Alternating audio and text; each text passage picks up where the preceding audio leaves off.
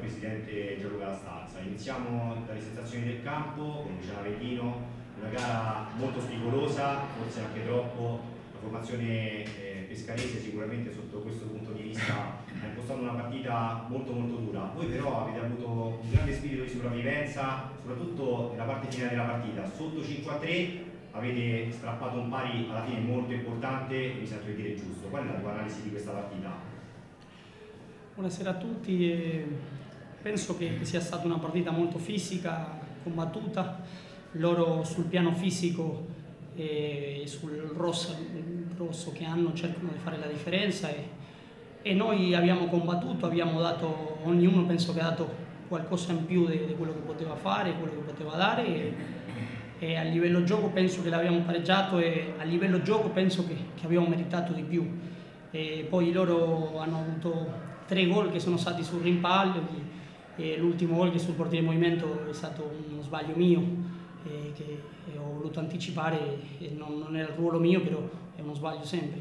Però penso che la squadra ha dato tutto fino, fino alla fine e il punto è merito per, per lo sforzo che avevamo dato e per tutta eh, l'agonismo che avevamo lasciato in campo. Il Pescara fino a questo momento è in battuta, prima in classifica, ha un distacco siderale dalla seconda, voi però oggi, soprattutto nel secondo tempo, che avete dominato a tratti, avete dimostrato che tra voi e Pescara non c'è così tanta differenza. Qual è la tua analisi su questa stagione e eh, cosa secondo te eh, bisogna curare di più per arrivare ad avere le stesse prestazioni della formazione pescarese? E Guarda, penso che a livello gioco, come ti ho detto prima, abbiamo superato la squadra, loro, loro sul, sul, singolo magari cercavano di fare la differenza e noi magari lo, lo abbiamo cercato da fare sul, sul gioco. E penso per migliorare questa, questa, stagione dobbiamo non avere i cali come abbiamo avuto la settimana scorsa, che, che è stato un peccato, che ancora cioè, rimpian, cioè, rimpiangiamo quei punti che, che abbiamo perso, che sono quelli punti che, che poi alla fine di stagione eh, non ti ritrovi e che magari ti possono fare il salto di qualità. Eh, con queste squadre bisogna combattere e dare qualcosa in più perché sono, penso che loro col caos sono delle due squadre diciamo, delle più forti nel campionato, e, però abbiamo dimostrato con tutte e due che, che siamo all'altezza loro quando, quando, ci siamo, quando, quando combattiamo e, e quando ci proponiamo di giocare penso che siamo al livello loro e anche qualcosina di più. Ok, eh, Gianluca Anastasia, presidente della linea calcio a 5, è stata una settimana molto complicata, l'assenza per diversi giorni da parte delle nazionali, eh, da parte appunto di eh, Chicchio e di Terenzi, l'assenza di Vicapau e Rosati che eh, non, più, non era disponibile appunto. Nonostante tutto... Michael Montagna pure che ci ha abbandonato da un momento all'altro Ok, e volevo farti avere un po' eh, il punto della situazione per quanto riguarda la rosa e tutto quello che è successo appunto in settimana, la visione invece eh, riguardo questa partita, quali sono le tue sensazioni, qual è la tua analisi? Ma a livello di rosa um, Amoedo ha dimostrato di poter essere all'altezza di, di chi è mancato, l'assenza di Pica sicuramente potrà essersi fatta sentire per alcuni versi, però io veramente credo che Amoedo ha fatto una grandissima gara eh, sicuramente il mister questa settimana ha dovuto allenarsi in condizioni veramente difficilissime, come hai detto tu, per le assenze dei nazionali, per il fatto che Enrico Rosati è andato via come Michael Montagna, quindi ci siamo trovati con Pica che era infortunato, quindi è stato veramente una settimana particolare. Però io credo che veramente cioè, a livello di gioco c'è stata solo una squadra oggi in campo, io sono veramente deluso dell'atteggiamento anche del Pescara perché veramente mi aspettavo che fosse un po' più propositivo, ho visto una squadra che è stata schiacciata ha avuto veramente dei gol fortunosi comunque. Eh, io sono amareggiato del risultato, anche se è venuto alla fine, perché veramente per quello che abbiamo prodotto io mh, penso che sia una squadra che doveva largamente vincere, eravamo noi, poi eh, non so, sarò forse troppo di parte. Quello che abbiamo potuto notare è riguardo la direzione arbitrale, ovviamente è sempre molto complicato arbitrare partite così difficili, però forse è mancata un po' di prevenzione, soprattutto nella fase iniziale. Questo ha comportato il degenerarsi dal punto di vista emotivo e anche agonistico della sfida. È diventata alla fine quasi una gara rissosa. Io mi sento di dire che probabilmente un atteggiamento eh, di prevenzione da parte della coppia arbitrale poteva evitare questo eh, degenerarsi. Qual è invece la tua analisi su questo? Ah, in in particolare io non ho visto comportamenti scorretti da parte dei giocatori del Pescara in particolare, l'unico soggetto che si distingue sempre sistematicamente, che ormai voglio dire è proprio sistematico negli interventi, cerca sempre di far male, lo ha fatto anche oggi con Battistoni, è il solito Caputo che non si risparmia mai di certi interventi gratuiti eh, poi devo sentirmi dire da Colini che noi abbiamo minacciato il portiere e che Caputo ha fatto un semplice intervento da gioco. Cioè, quello che abbiamo detto noi al portiere del Cavuzzo che ha fatto una papera, abbiamo detto al massimo paperone, l'abbiamo schernito per qualcosa così, ma penso se i tifosi non possono fare nemmeno quello. Quello che è grave è che io devo essere minacciato in casa mia da dirigenti del Pescara che mi dicono di non presentarmi a Pescara per avergli soltanto detto di non rivolgersi verso i nostri tifosi per non aizzare animi che non serviva a niente. Gli abbiamo riservato un settore, si sono messi primo nel nostro settore dove ci mettiamo sempre e li ho invitati ad andare nel loro. E alcuni episodi si sono rivolti verso di noi con eh, frasi anche voglio dire, se non erano offensive, ma si deve evitare, io ho soltanto detto di quello, di stare zitti come abbiamo fatto noi quando siamo andati a pescare. Noi ci siamo messi al nostro posto e non abbiamo mai rivolto nessun tipo di parola verso il pubblico del Pescara per rispetto e loro non devono fare altrettanto, stanno lì, si vedono la partita, ma verso i tifosi della Latina non ci si devono rivolgere in nessun modo, solo questo qui ho chiesto. Ok, questo è giusto e doveroso sottolinearlo. Un punto che alla fine a conti fatti è un è un punto guadagnato, due punti persi. Io faccio la stessa domanda prima ad Avellino e poi a... Ah, ripeto, come si è messo il risultato alla fine, eh, certo la gioia rimane, però per il gioco prodotto veramente, eh, cioè, io penso che qualsiasi analisi possa essere fatta, se c'era una squadra che meritava di vincere, oggi era Latina, cioè veramente i gol loro sono stati tutti gol senza un minimo d'azione, molto fortunosi, quindi la Latina ha prodotto il gioco e tutte le azioni, i gol, e il portiere loro ha fatto diversi interventi salvando il risultato penso che se c'era una squadra che doveva vincere, non, non dico un'eresia, ma era Latina, questo ne sono convinto. Ok. No, guarda, io dopo la settimana che abbiamo vissuto,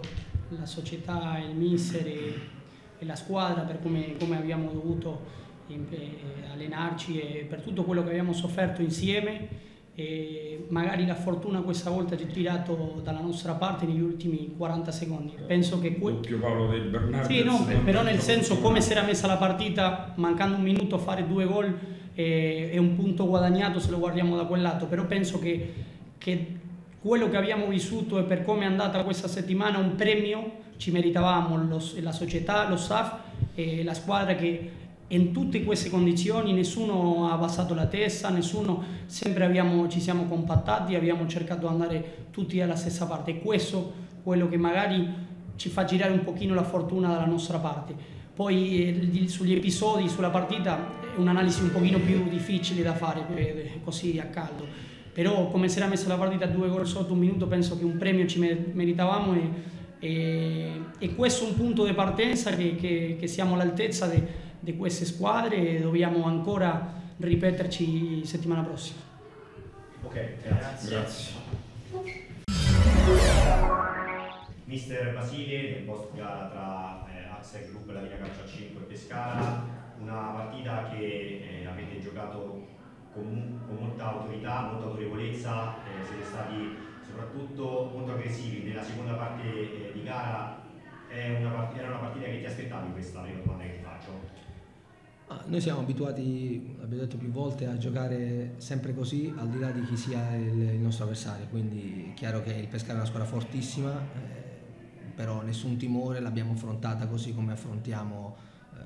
per dire l'ultima della classe, ma per noi questo è il nostro tiro di gioco, sappiamo giocare così e proviamo sempre con qualsiasi avversario a giocare così. Alcune volte ci va bene come oggi, alcune volte meno bene, però la nostra filosofia, la nostra mentalità è questa, quindi abbiamo provato a, a partire subito forte, siamo riusciti, poi quell'episodio purtroppo ha creato confusione, ha cambiato anche l'inerzia della partita, perché anche il primo gol loro è frutto, sì è vero, di un rimpallo, ma comunque di una nostra distrazione che è venuta sicuramente da, da quel momento di confusione che tutti in panchina, arbitri, giocatori in campo stavano, stavano vivendo. Quindi,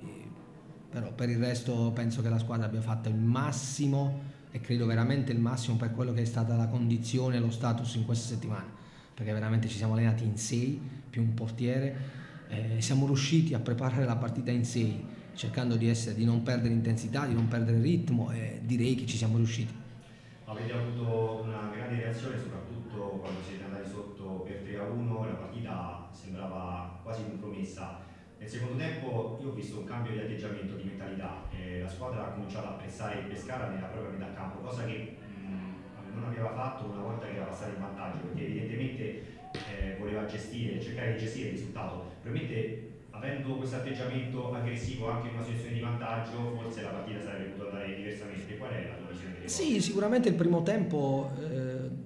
i primi diciamo, due minuti, forse un minuto e mezzo prima del gol, avevamo iniziato così, poi è chiaro che la squadra gioca con la prima della classe, va in vantaggio 1-0, quindi è chiaro che pensa, lo so che dopo un minuto e mezzo, però noi siamo una rosa abbastanza corta, eh, messa a paragone del Pescara, no? quindi in, in, alcuni momenti uno deve anche gestirsi. Sicuramente l'abbiamo fatto troppo presto, no? E poi come ti ho detto, eh, l'episodio del, della manata di Caputo ha cambiato l'inizio della partita perché lì siamo stati confusionari, abbiamo pensato a, in quel momento a fare la guerra o ad entrare più duri di loro e purtroppo con questo Pescara non te lo puoi permettere perché loro sono una, fisicamente una squadra fortissima che poi sfrutta tutti questi episodi, tutte queste seconde palle, rimpalli poi davanti alla porta sono molto cinici, non, praticamente io mi ricordo che Simone ha fatto forse una parata, quindi i 5 gol loro forse sono arrivati 6 volte vicino alla porta e 6 volte, 5 volte hanno fatto gol, quindi... Poi nel secondo tempo sì, la squadra ha avuto una grandissima reazione al di là del 3-1 forse su 4-2,